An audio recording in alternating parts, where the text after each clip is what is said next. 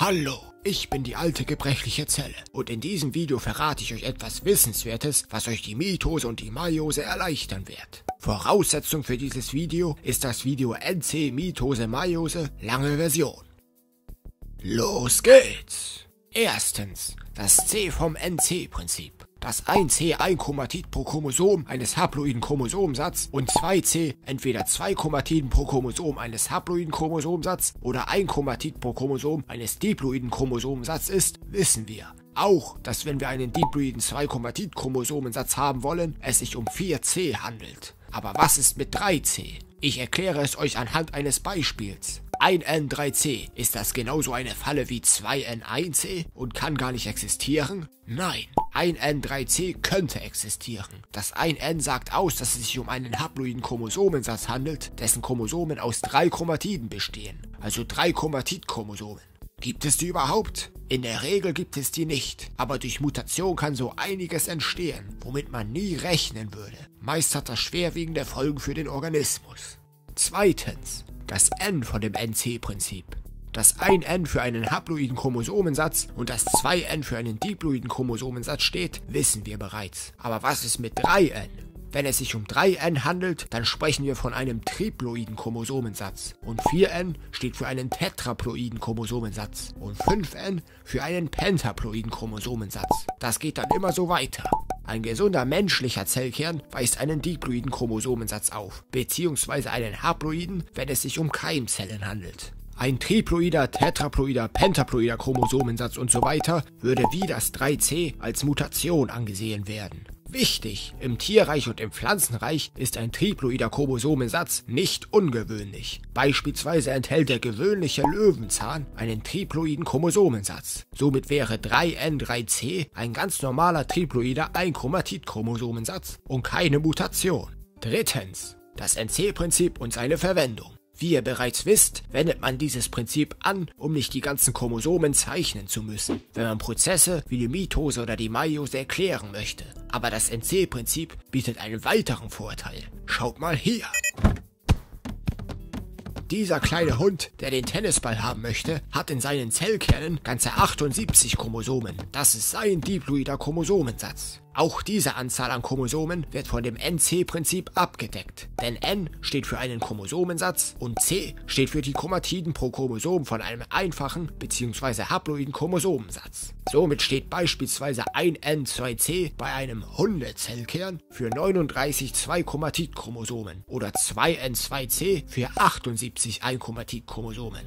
Ja, dieses NC-Prinzip ist schon ein echter Knüller, oder? Mit diesem Prinzip muss man nämlich nicht wissen, wie viele Chromosomen einen diploiden Chromosomensatz bilden bei den verschiedenen Lebewesen. Nein, du musst einfach nur N und C daneben schreiben und du kannst mehrere Zellteilungen von unterschiedlichen Lebewesen in einer Abbildung darstellen. Ja, Mann, oh Mann, oh Mann, wem erzähle ich das hier eigentlich? Einem Mitochondrium, das da ganz allein im Klassenraum sitzt. Viertens, die gebrechliche NC-Formel. Wie kann man sich dieses NC-Prinzip merken? N ist ja leicht, denn N steht für den Chromosomensatz, aber C ist ein fieser Typ, denn der steht für die Chromatiden pro Chromosom eines einfachen bzw. haploiden Chromosomensatz. Durch die gebrechliche NC-Formel machen wir uns es einfacher, und zwar indem wir die Buchstaben nicht einzeln betrachten, sondern zusammen. Wenn wir N und C nebeneinander stehen haben und eine kleine gebrechliche Formel mit einbringen, dann steht C, wenn es sich innerhalb der Klammern befindet, plötzlich nur noch für Chromatiden. Hinweis, die Formel ist leicht zu merken und auch leicht zu verstehen, aber sie ist schwer zu erklären. Deshalb könnt ihr jederzeit überspringen, wenn ihr keinen Bock mehr auf die Formel haben solltet. Aber ich kann sie euch nur empfehlen. Vor allem dann, wenn es nicht in den Kopf reingeht, dass C für die Chromatiden pro Chromosom eines einfachen bzw. haploiden Chromosomensatz steht. Okay, fangen wir an. So sieht die gebrechliche NC-Formel aus. Klammer auf, xn, yc durch x, Klammer zu, mal x. Ich erkläre sie euch an unseren bekannten Varianten von n und c, also an 1n1c, 1n2c, 2n2c und 2n4c. wenn wir ein n haben, dann ist x gleich 1. Und wenn wir zwei n haben, dann ist x gleich 2. Denn x ist eine Variable und steht innerhalb der Formel für das Gleiche.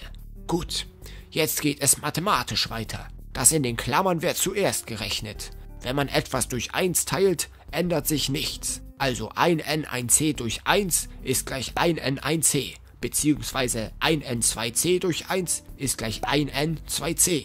Wenn man etwas durch 2 teilt, dann halbiert sich das Ganze. Also 2n2c durch 2 ist gleich 1n1c, beziehungsweise 2n4c durch 2 ist gleich 1n2c.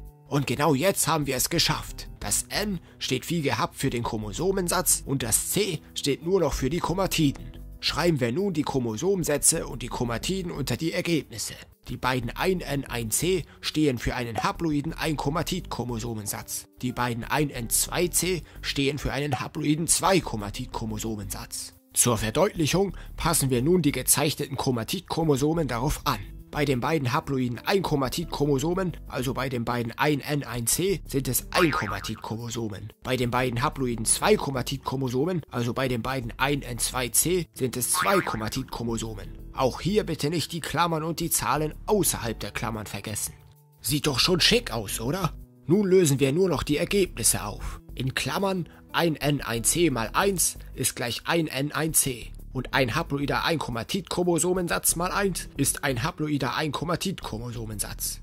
In Klammern ein N2C mal 1 ist gleich ein N2C und ein haploider Zweichromatid-Chromosomensatz mal 1 ist ein haploider Zweichromatid-Chromosomensatz. In Klammern ein N1C mal 2 ist gleich 2 N2C und ein haploider Einchromatid-Chromosomensatz mal 2 sind zwei haploide Einchromatid-Chromosomensätze bzw. ein diploider Einchromatid-Chromosomensatz. Zu guter Letzt in Klammern ein N2C mal 2 ist gleich 2N4C und ein haploider Zweichromatid-Chromosomensatz mal 2 sind zwei haploide Zweichromatid-Chromosomensätze bzw. ein diploider Zweichromatid-Chromosomensatz. Wichtig! Da das C sich nun nicht mehr innerhalb der Klammern befindet, steht es wieder für Chromatiden pro Chromosom eines einfachen bzw. haploiden Chromosomensatz.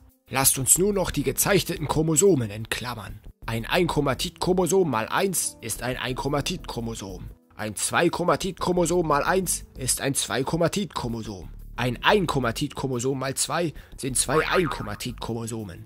Und ein Zweichromatid-Chromosom mal 2 sind zwei Zweichromatid-Chromosomen. Ist ja irre. Das Ergebnis ist richtig. Mir kam die Idee am 13. Dezember 2015, so gegen 22.30 Uhr. Wie ihr seht, kann man durch die gebrechliche NC-Formel das NC-Prinzip vereinfachen, so dass N für einen Chromosomensatz und C, wenn es sich innerhalb der Klammern befindet, für Chromatiden steht. Außerdem kann man damit das Verhältnis der gezeichneten Chromosomen zu dem NC-Prinzip bestimmen, falls man das Verhältnis mal vergisst. Damit meine ich, wenn ein N1C, wie hier im Beispiel ein Einchromatid-Chromosomen ist, dann könnt ihr durch die gebrechliche NC-Formel ermitteln, dass zwei N4C zwei Zwei-Chromatid-Chromosomen sein müssen. Selbst wenn ihr bei 1N1C zwei Einchromatid-Chromosomen zeichnet, ermittelt ihr durch die gebrechliche NC-Formel, dass 2N4C dann für vier Zweichromatid-Chromosomen steht. Ihr müsst selber wissen, ob ihr die gebrechliche NC-Formel nützlich findet. Also ich finde sie nützlich, denn so muss man im Grunde genommen nicht verstehen, was damit gemeint ist, dass C für die Chromatiden pro Chromosom von einem einfachen bzw. haploiden Chromosomensatz steht. Die Formel stammt aus dem Schädel der alten gebrechlichen Zelle von Geomovie, also aus meinem Schädel. Ich habe sie mir sogar als Tattoo gestochen. Das war die erste Version der gebrechlichen NC-Formel. Inzwischen habe ich sie ja verfeinert. Naja, ich hoffe, dass euch die gebrechliche NC-Formel hilft. Fünftens. Die Zellen bei der Mitose und der Meiose.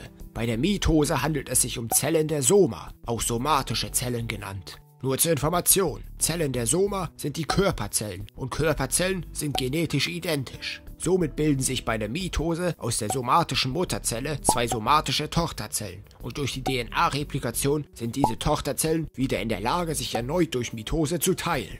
Bei der Meiose handelt es sich um Zellen der Keimbahn, auch Keimzellen genannt. Nur zur Information, Zellen der Keimbahn sind die Geschlechtszellen und von den Geschlechtszellen gibt es zwei verschiedene Arten. Einmal die Urkeimzellen, auch Gonozyten genannt, diese sind mit den Körperzellen genetisch identisch, und einmal die Keimzellen, auch Gameten genannt, diese sind genetisch unterschiedlich. Bei der Meiose bilden sich aus der Mutterzelle, welche eine Urkeimzelle bzw. eine Gonozyte ist, durch die erste Reifeteilung zwei unausgereifte Keimzellen, die durch die darauf folgende zweite Reifeteilung vier ausgereifte Keimzellen bzw. Gameten werden.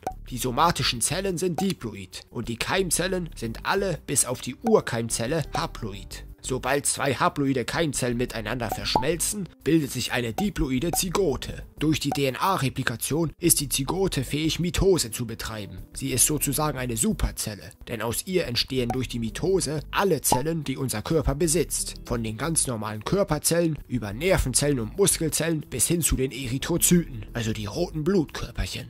Sechstens, der Mitose- und Meiose-Zyklus. Es gibt nur den Mitosezyklus. Ein Meiosezyklus ist nicht vorhanden. Bevor die mitotische als auch die meiotische Zellteilung startet, befinden sich die Zellen in einer Interphase. Beide Zellen besitzen momentan 2N2C. Während der Interphase wird unter anderem das Erbgut mittels DNA-Replikation verdoppelt. Somit wird aus den 2N2C 2N4C. Nun sind die Zellen bereit für die Zellteilungen. Bei der mitotischen Zellteilung wird aus dem 2N4C wieder 2N2C, womit sich die entstandenen Zellen, die genetisch identisch sind, wieder in der Interphase befinden. Durch eine DNA-Replikation werden sie auf eine erneute Zellteilung vorbereitet. Somit ist der Mitosezyklus vorhanden, denn er kann sich immer wiederholen. Bei der meiotischen Zellteilung wird durch die erste Reifeteilung aus dem 2N4C ein N2C. Nach einer kurzen Interphase, wo keine DNA-Replikation stattfindet, wird aus dem 1N2C durch die zweite Reifeteilung ein N1C. Nach der zweiten Reifeteilung ist die Meiose vorbei und das 2N2C vom Anfang wird nicht wiederhergestellt. Zudem sind die entstandenen Zellen alle genetisch unterschiedlich, was zur Folge hat, dass auch eine DNA-Replikation die ursprünglichen genetischen Informationen nicht wiederherstellen könnte. Aus dem Grund ist kein Meiosezyklus vorhanden, denn dort ist nichts zum Wiederholen. Siebtens. DNA-Replikation und Chromosomenreplikation.